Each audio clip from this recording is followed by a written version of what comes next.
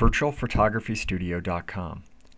We're going to show you how to quickly and easily remove the background from an existing object that you have in a photographic image using the pen tool. Now we're going to be using the paths section of, of your palette over here. So you have layers, channels, and paths. So select paths, go up here and select pen tool. And basically what we're going to do is we're just going to go around this image and only select the outskirts part of this image. So very quickly you can pull this image together.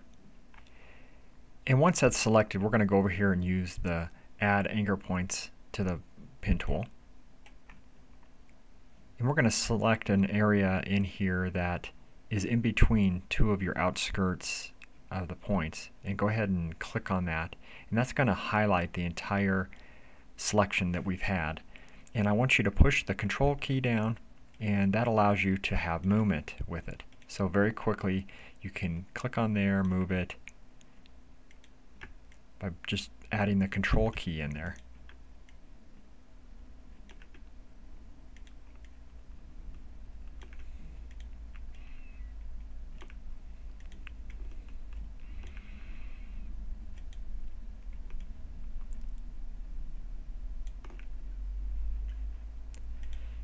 So we're going to zoom in on that so you can take a look at it and make any minor adjustments that you need to have done.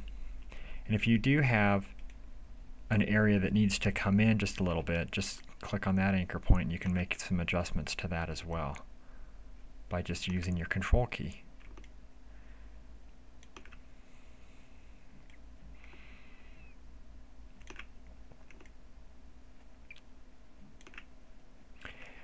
So once that's done, what we need to do is go over and make a selection of that. So basically what we do is we right click on the paths, make selection, and you can feather the radius that, that adds a layer uh, of a radius around your selection. Once that's selected, you'll get the marching ants in there. We're going to go ahead and go back to the layers area.